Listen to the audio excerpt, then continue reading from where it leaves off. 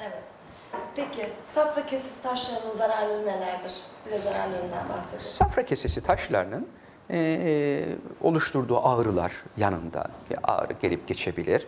Safra kesesi iltihaplanmalarına, safra kesesi iltihaplanmaları eğer o tıkanıklık açılmazsa safra kesesi gangrenine, safra kesesi gangreni de e, doğru zamanda tedavi edilmezse olan yerlerden safra kesesinin rüptür olması yani delinmesine e, sebep olup safra kesesinin bütün karna yayılmasına ve safra kesesi peritonine sebep olabilir.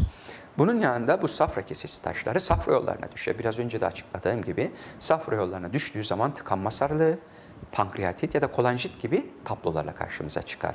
Kolanjit beraberinde karaciğer apsilerine sebep olabilir.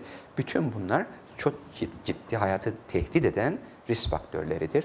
Dolayısıyla bunlar safra kesesi taşlarının yol açtığı istenmediğimiz e, ölümcül olabilecek komplikasyonlar dediğimiz noktalara yol açan faktörlerdir.